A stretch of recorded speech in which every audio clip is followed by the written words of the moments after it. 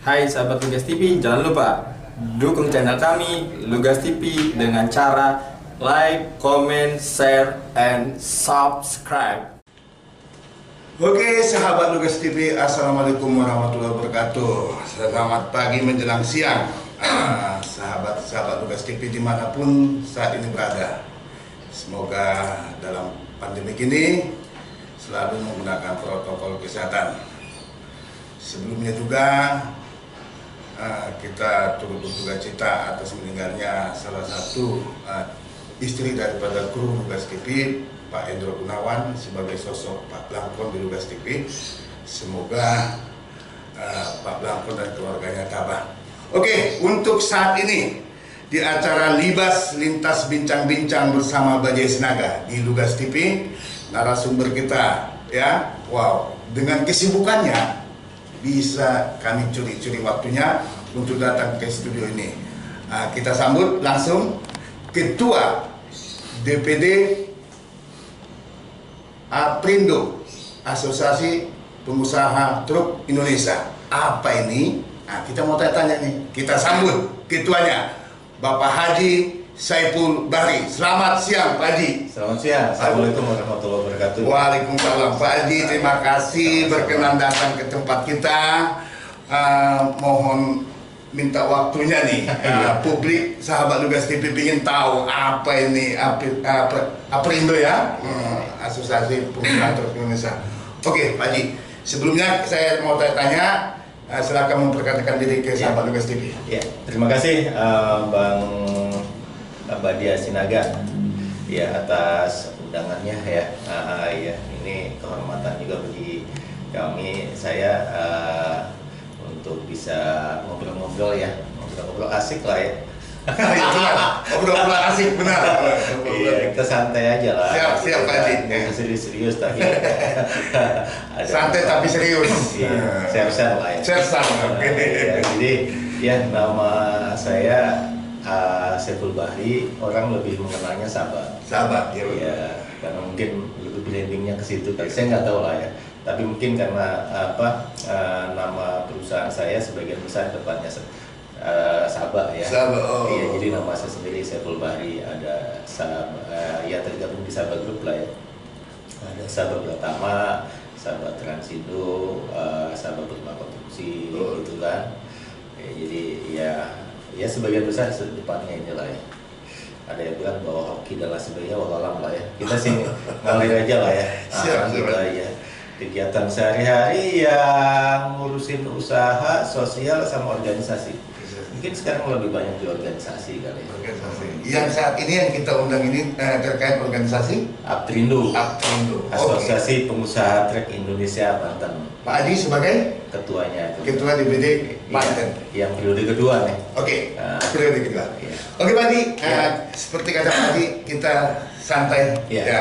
Pingin tahu nih sahabat Lugas TV. Nah, boleh ceritakan secara singkat ah, Aprindo ini ah, seperti apa mekanis- eh, mekanisme kerjanya atau seperti apa? Pak? Ya, Aptrindo itu adalah asosiasi pengusaha truk Indonesia spesialisasi khusus truk yang eh, medianya adalah atau yang yang diangkut adalah barang. Barang. Ya macam-macam barang lah. Ya. Ya semua yang menggunakan truk itu kan pasti eh, apa Aptrindo hadir di situ gitu kan. Aptrindo adalah asosiasi yang memang di sini adalah sebagai jembatan teman-teman pengusaha truk untuk memperjuangkan eh, aspirasinya eh, apa untuk bisa diakui dan juga sama dengan eh, organisasi yang lain dalam hal mungkin khusus masalah truk. Iya.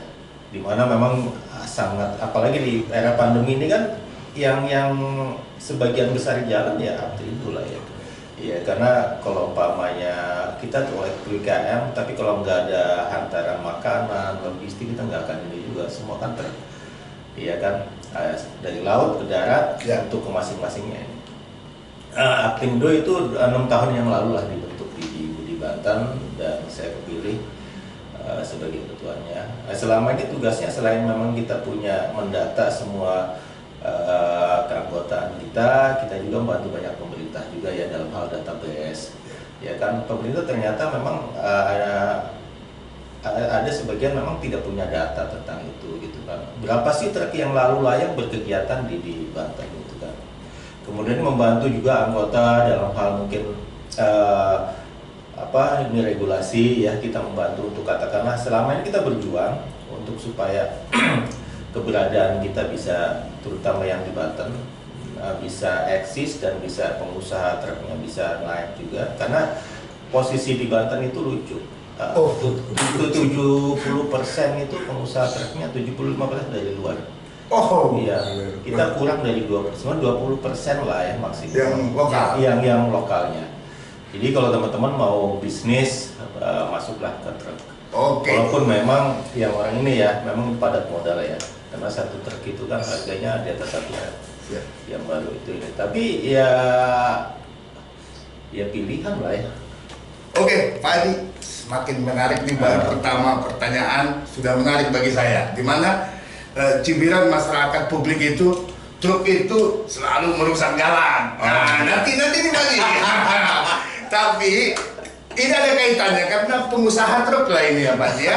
Artinya eh, ada hubungan sama dinas perhubungan Iya, iya. khususnya uh, yang dilewati daripada uh, organisasi kita. Nah, ini masih hangat nih Pak Haji terkait uh, penetapan Kejari Cilegon dengan uh, Kepala Dinas Perhubungan uh, Kota Cilegon. Secara pribadi Pak Haji apa tanggapan Oh, nih iya, iya. terkait Pak?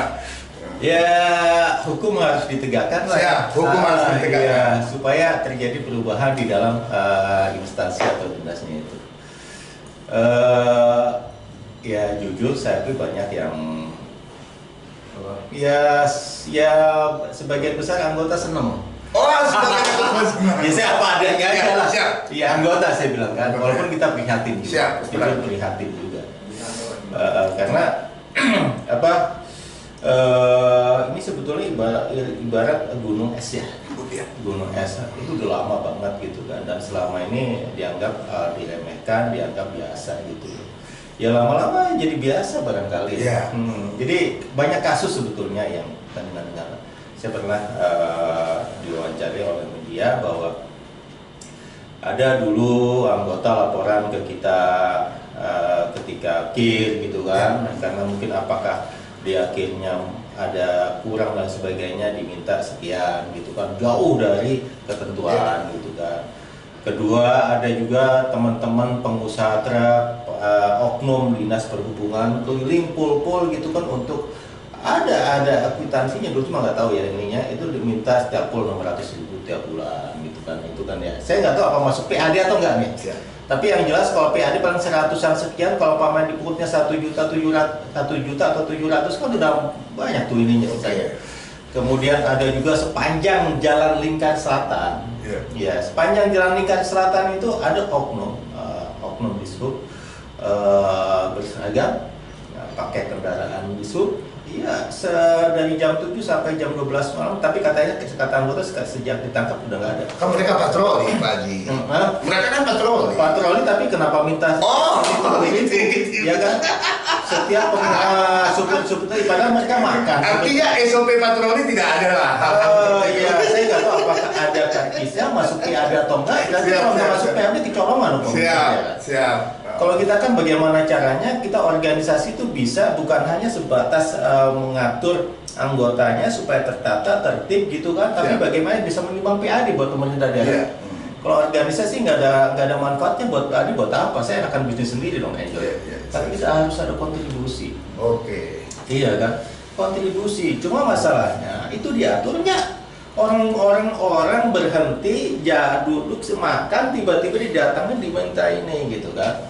Kalau kita bicara tentang masalah kantong apa masalah parkir sediakan dulu kantong parkir. Iya. Ya kan? Baru keluar masuknya ada angka. Iya kan? Diatur oleh Perda. Saya nggak tahu masuk atau enggak gitu kan. Saya sebagai orang sini asli loh. Saya asli wong kini Pak ya. Oh, iya. Asli wong kini ya prihatin lah. Ya. Ya kan ini masuk kantong pribadi oknum atau masuk pemerintah daerah. Kalau buat pemerintah daerah happy aja saya Atau untuk masyarakat juga. Ya, menarik. Jadi kata Pak Haji tadi ini ibarat gunung es. Iya. Untuk harapan kepada wali kota yang baru nih, untuk pengganti pejabat-pejabat Iya. OPD termasuk salah satu eh, dinas perhubungan ini. Apa nih Ya, kepada wali kota? eh, harapannya eh, Cilegon ini kan Cilegon berkah ya apa eh, Martabat. Master bermat Modern dan bermartabat. Oh, modern dan bermartabat sekarang itu modern itu kan ada hubungan sistem IT Sip, setuju. bermartabat ada hubungan sistem transparansi. Iya. ya kan? Eh, apa? Pergunakanlah itu IT dan transparansi. Karakter lah. karakter iya kan? Untuk bermartabat. Dibuatlah ditempel di situ berapa sih tarif ini? Ya. no tip no swap no ini gitu kan? Betul-betul lah. Toh mereka digaji sama masyarakat. Kita saya ikut menyumbang pajak juga gitu kan faktanya kan kayak gitu kita nyumbang loh ke pa- para ini kan para para ke- para apa ASN dan sebagainya orang dari pajak kendaraan kita beli aja berapa 10 persennya PPN-nya Dari Iya. pembelian pajak Oh iya, kendaraan ya? kita ini gitu kan kalau beli pamannya tiga mobil, Hmm. pamannya Udah ketahuan. udah ketahuan 30 juta kita nyumbang loh.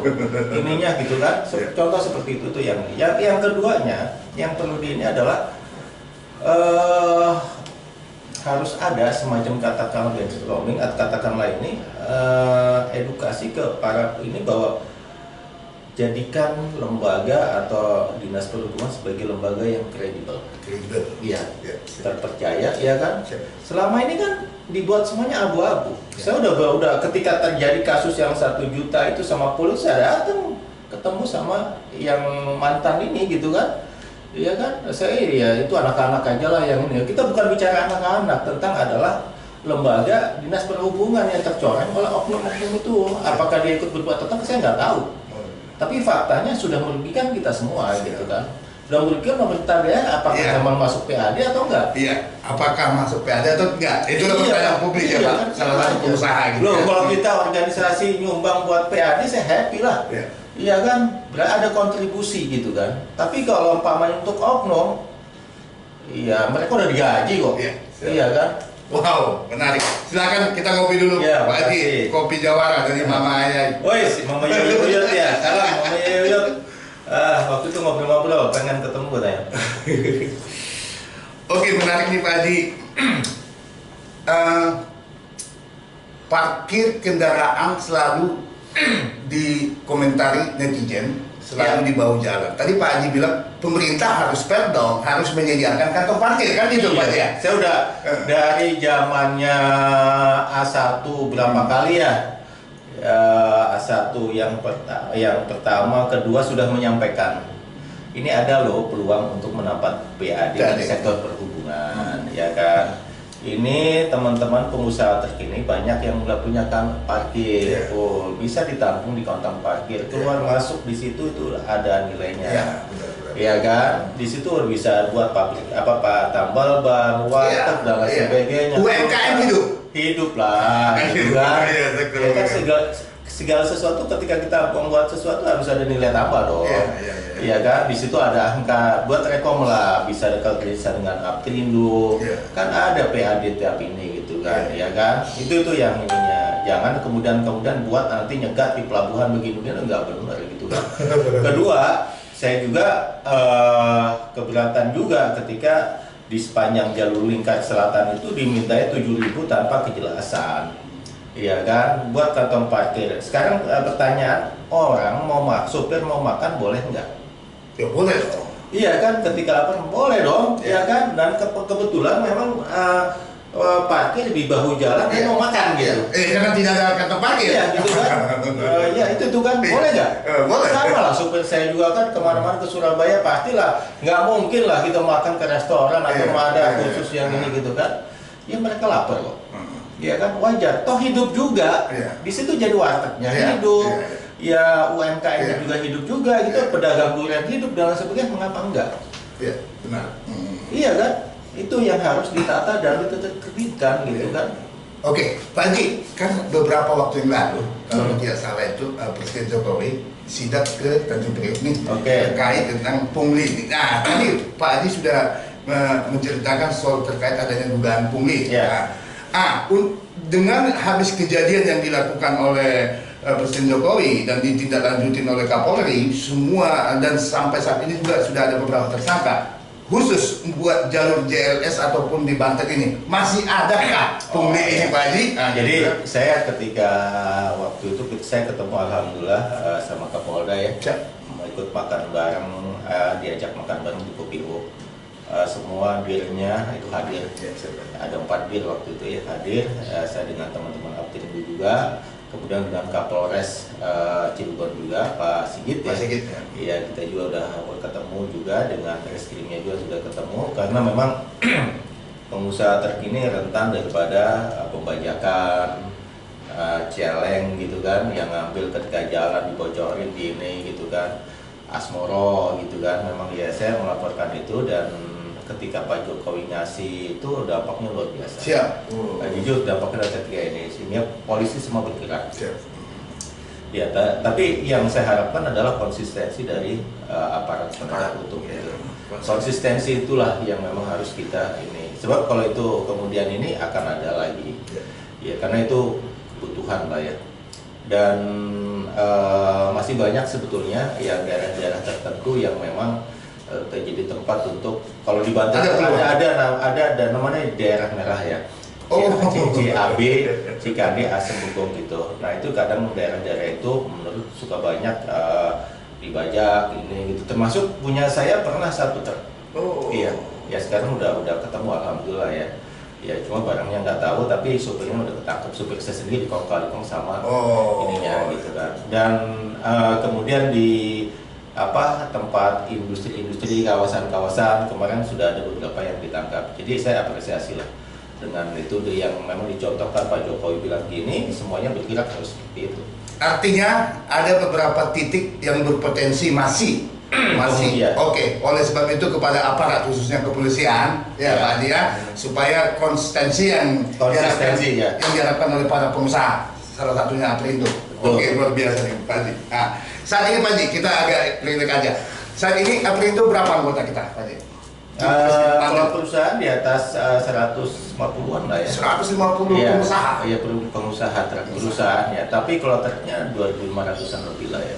Dulu Tadi- pernah sampai 5.000 tapi kita pila-pila-pila akhirnya inilah. Karena kan nggak semuanya uh, anggota Aptirin itu ada yang bergerak sebagian besar industri pelabuhan, ada juga yang pertambangan. Siap, siap, siap. Ah, itu 150 tadi Pak? Perusahaan. Pengusahanya. Itu pengusaha lokal atau pengusaha Hmm, ya, ini yang yang saya pernah bilang dulu kepada saat wali kotanya Pak Iman Aryadi, Pak Edi, eh, kalau yang sekarang belum ketemu lah ya, itu untuk eh, mendorong namanya plat aisasi supaya ada kontribusi buat daerah. Ini penting lah ya. Karena tadi saya bilang bahwa 80% itu adalah pengusaha truk yang berkegiatan di Banten khususnya Cilegon itu adalah dari luar Banten. Nah, tadi blok otom- asosiasi artinya apa nih Pak Adi? Ya mendorong ganti platnya dari B dari W Walaupun dari dia ah. pengusaha luar. Ya kan kegiatannya terus menerus di sini. Wow, luar biasa. Untuk salah satu pendapatan daerah. Oh, iyalah, iya kan. Iya, iya tadi saya bilang organisasi itu harus bisa mendorong untuk bisa menciptakan nilai tambah buat pemerintah daerah. Pemerintah daerah, masyarakat untuk tumbuh juga industrinya, organisasi juga Aptrindo untuk mencegah juga jangan sampai terjadi kanibalisasi pengusaha truk yang cuma eh, yang tadinya punya lima jadi dua karena eh, masuk gajah-gajah dari luar. Kita perlakukanlah perlindungan ini gitu kan. Jadi itu kalau kita nggak ada manfaatnya buat apa gitu kan? Nah plat aisasi ini kita pernah sampai 100 mobil ya. Eh, kita minta kalau bisa nggak putihkan ininya. Tapi kan tiap bulannya ada pemasukan. Sekarang tiap tahun ya satu mobil 5 juta ada 6 juta. Iya kan? Eh, kali. Wow. iya kan? Berapa pihak sejauh ini udah seperti apa nih? eh, respon kita kita eh, udah pernah ke ke provinsi Oke. tapi yang paling punya kepentingan adalah bagaimana lewat perda perwal dan sebagainya Siap. adalah Setuju. mengawal itu untuk bisa ini gitu kan menjadi Setuju. karena kita memang ya memang nggak diatur lah tetapi faktanya eh, jalan-jalan yang dibangun oleh pemerintah daerah ya rusak lah tanpa kontribusi apa pun ujungnya mereka eh, punten lah ya cari makan di sini tapi buangnya daerah lain gitu kan kita nggak ada apa-apa jadi yang apa yang yang ada ya rugi semuanya Eh, saya mungkin suka juga teman-teman Aptindo lain suka agak inilah, ta- tapi ini fakta yang harus saya sampaikan gitu kan. Jadi contoh kecil, kalau ada Raja Poltak dari Medan nih, Oh iya. contoh nih, Ah. nah, bikin kendaraan sini 50 nih, dari plat BK harusnya diganti plat A. Kira gitu ya Pak ya? Kecuali dia hanya sekedar ngambil, tapi Ya. kalau berkegiatannya Berkegiatan, pul- menetap. eh, bukan hanya setahun puluhan tahun Iya. di sini, tapi domisilinya kantornya semua di Jakarta, di Surabaya, Jawa Tengah, Sumatera. Dia hanya numpang ini doang kantor iya. itu. Eh, saya teringat ya, ini ini masukan juga buat pemerintah daerah. Ketika saya mau buat perusahaan di Papua, pemerintah daerah sana saklek. Lo kalau mau buat usaha di sini silakan, tapi domisili wajib di sini. Karena dari domisili itu dapat PPIH. PPH. Iya, mungkin PPN dan lain sebagainya gitu. Sehingga akhirnya walaupun larinya ke pusat ada alokasi pembagian. Ini saya ini mau ngebuka Ya. buat pemerintah daerah supaya inilah. Oke, Walaupun artinya saya ini kan salah satu sumber pemasukan, sumber PAD juga Iya. buat di daerah kita ini gitu. Oke, luar biasa nih. Nah, supaya lebih agak ini, Pak Haji, kita terkait COVID nih. Oke. Oh, Oke, COVID.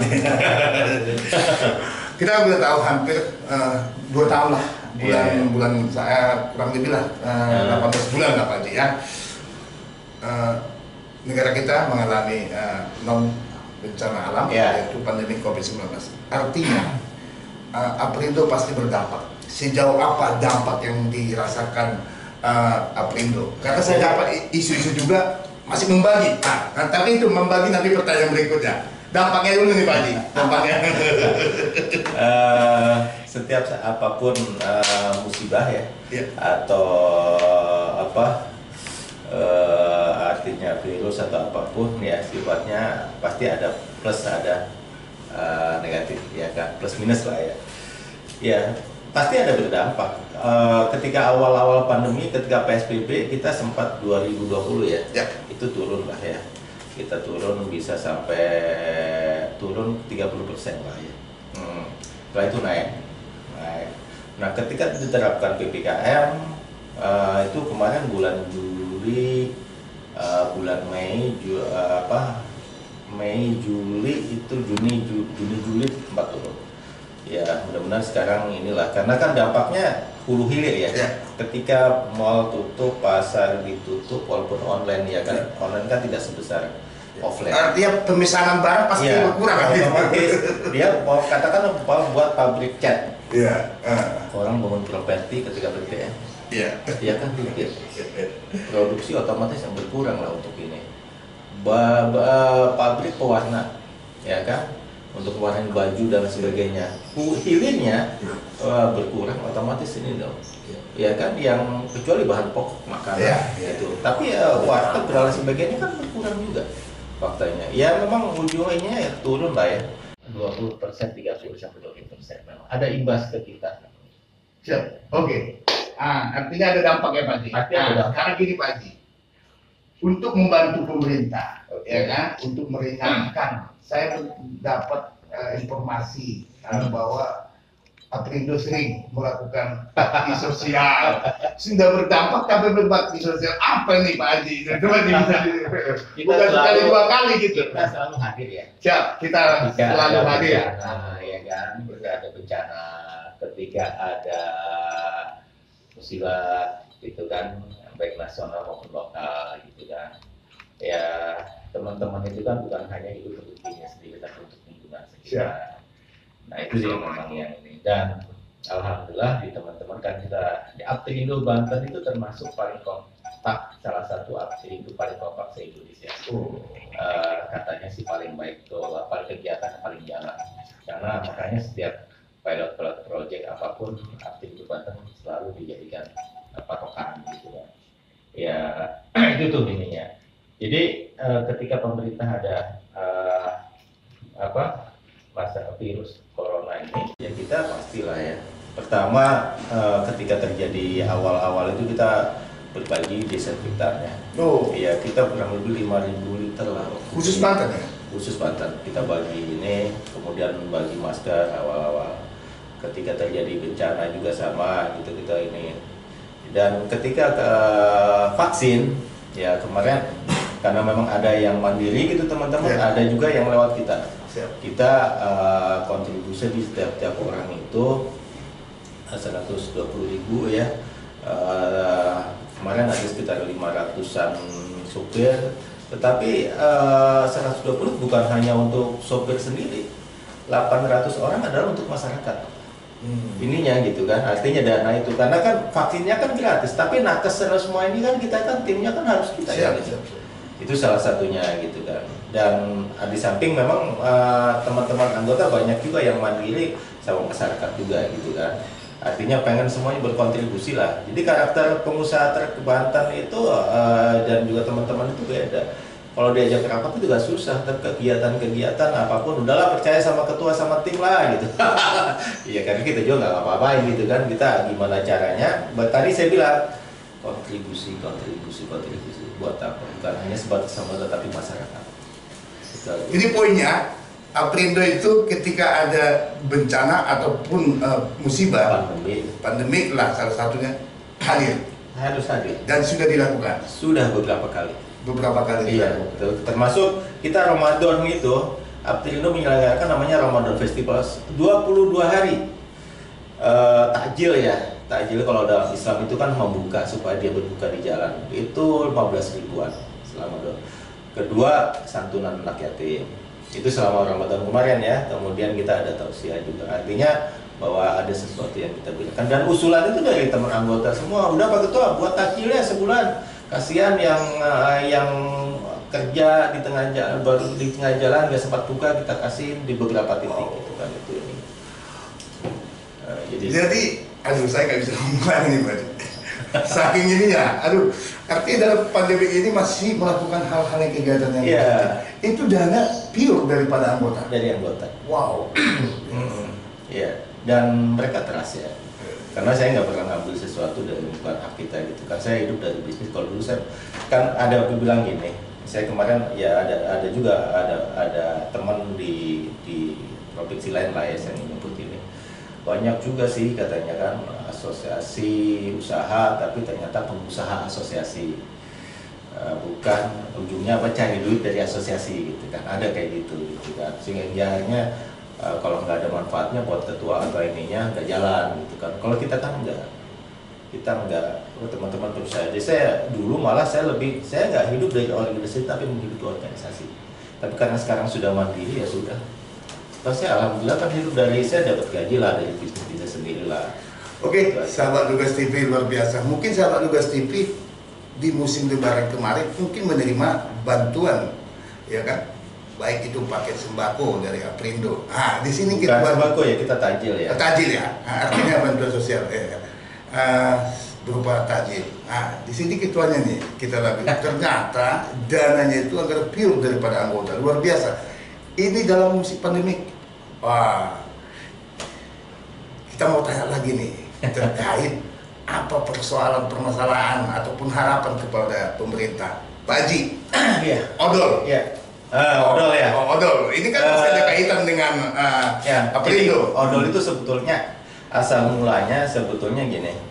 eh, Kita yang selalu Banten itu dianggap zona merah Zona merah. karena sebagian besar odol.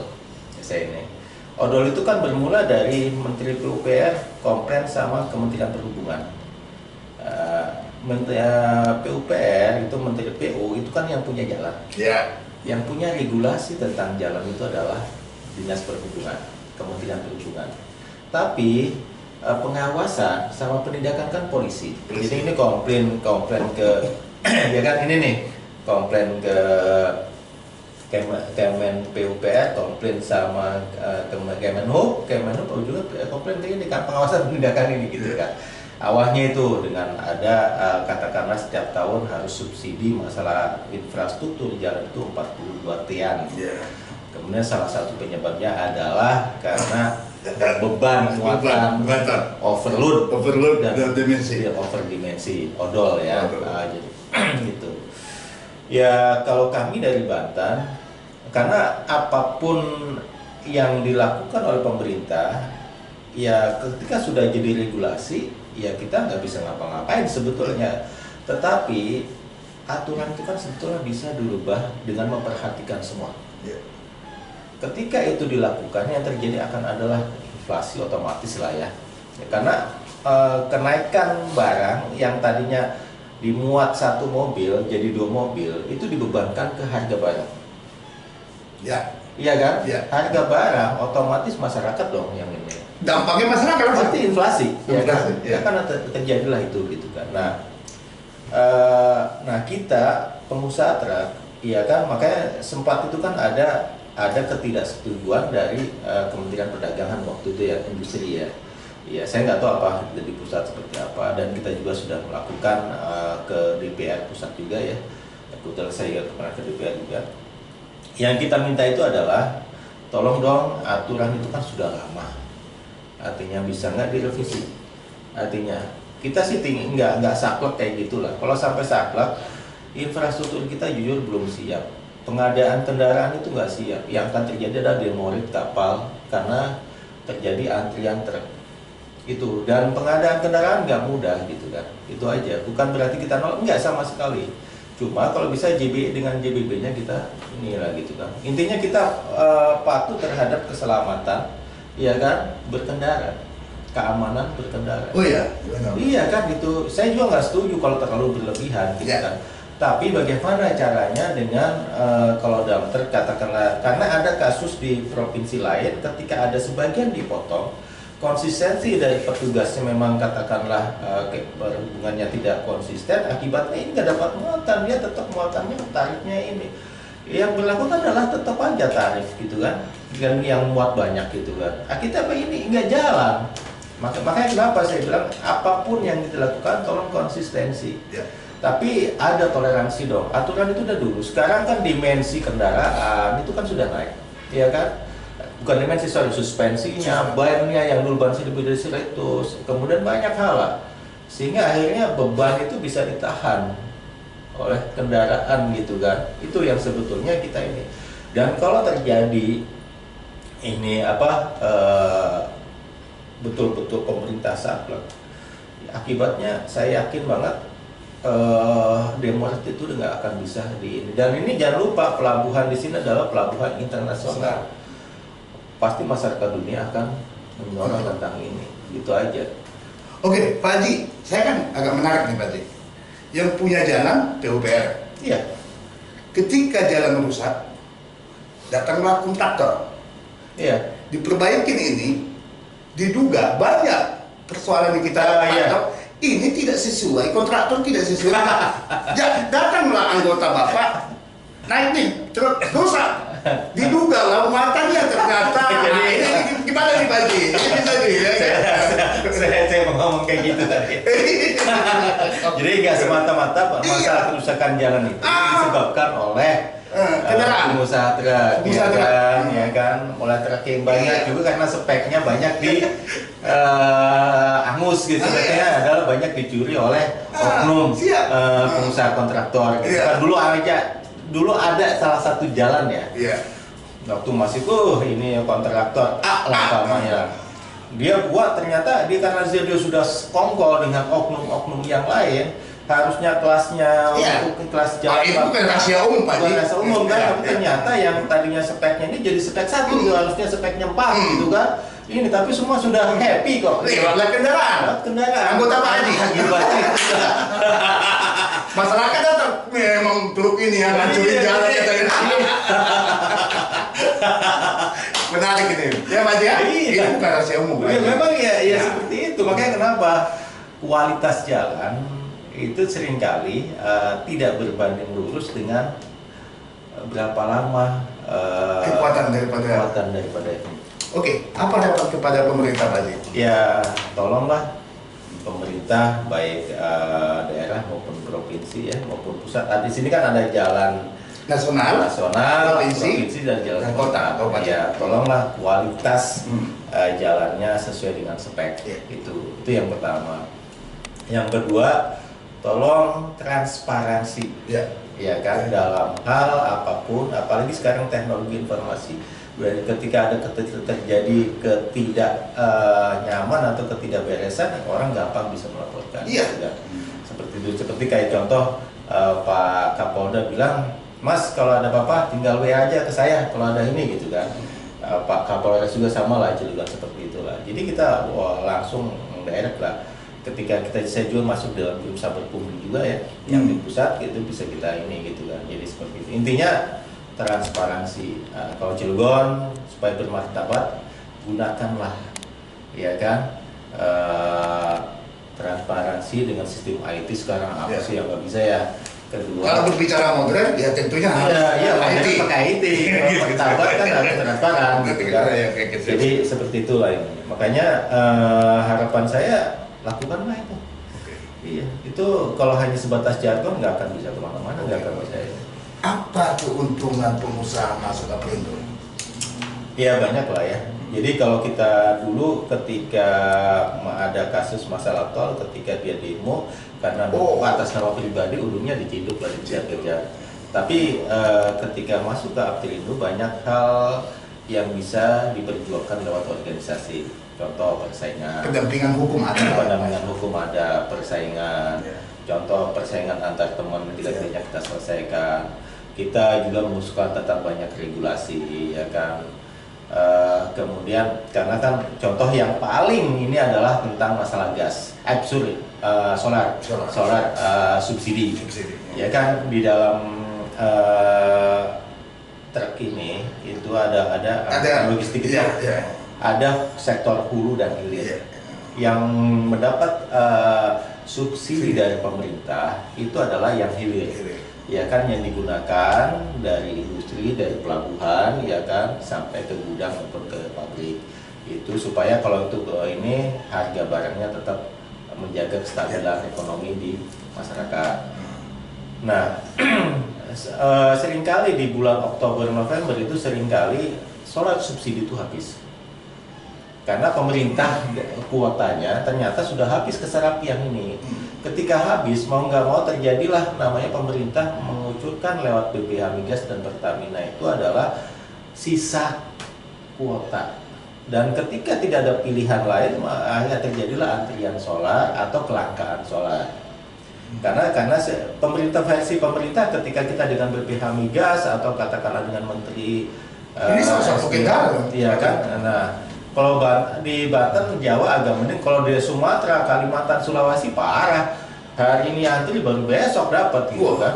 Dulu pernah di Iya, Banten kita teriak ke sana kemari. Iya. Nah, salah satu yang ini adalah kita eh, eh, adalah sudah piloting project ya kerjasama dengan BRI, BPH Migas, Pertamina untuk menjembatani ini agar setiap anggota Aprindo yang berkegiatannya eh, itu dapat mendapatkan kepastian akan solar subsidi yaitu dengan eh, berisi berisi Aprindo Fuel Card kita kerjasama itu kan Itu salah satu keuntungan Ya, masuk makanya kita anggota. piloting project ya, siap, siap. piloting, project dan kita alhamdulillah eh, tinggal eh, follow up-nya lebih lanjut. Jadi nanti setiap yang punya di, di kartu itu ada ini perusahaan A plat itu nggak bisa dipindah tangan kan, kita bisa blok itu. Eh, jadi eh, ketika di tag atau di ini ini perusahaan non- nongol bahwa nama perusahaan, platnya yang punya semua sudah bayar. Artinya udah sistem IT, Sistem IT. digital. Iya, itu. Udah modern juga dia. Betul, iyalah. Walaupun sebagian besar teman-teman berpikirnya agak gitu gitu. Oke Pak Oke. Ah, luar biasa kita kita uh, closing statement Pak. Oke. Eh, closing statementnya ya khususnya bagi masyarakat Banten ya.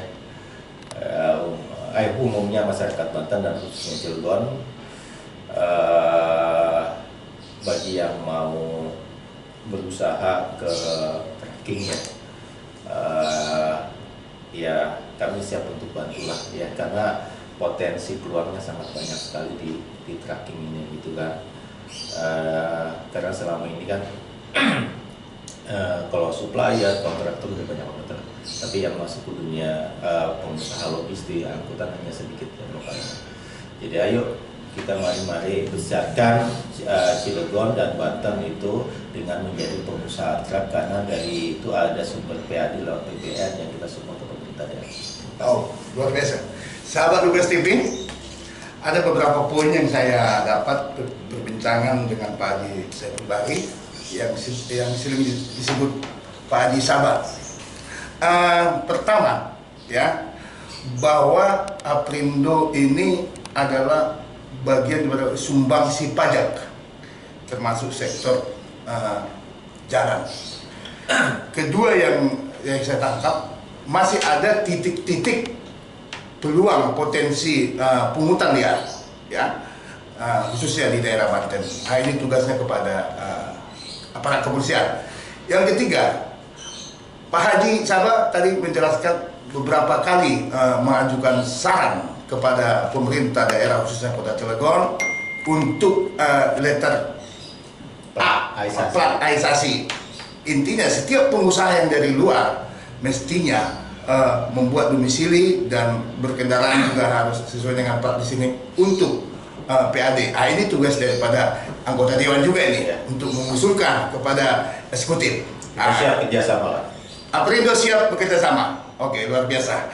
Uh, dan yang terakhir yang saya ambil adalah tentang odol ya. Seringkali uh, masyarakat umum publik kerusakan jalan itu diakibatkan oleh truk ataupun kendaraan yang bermuatan berlebihan. Oke, itu tidak dibantah oleh Pak Haji. Namun ada sisi lain bahwa kontraktor kadang-kala ada yang nakal, kan gitu kan? Ini ini harus uh, duduk bareng gitu loh. Kalau mau uh, menjadi kontraktor, ya harusnya sesuai dengan spek yang sudah dijanjikan MUI dengan uh, instansi ataupun kementerian PUPR supaya supaya ini saling ada sinergitas saja ya Pak Haji ya. Oh, ya. Nah, jadi jangan salah melulukan menyalahkan kendaraan-kendaraan ternyata speknya aja yang dikurangi oleh kontraktor. Kayak kira gitu Pak Haji ya. Oke terima kasih Pak Haji. Ah, kehadirannya di Lugas TV, santai kita. Di sini kita ada piagam penghargaan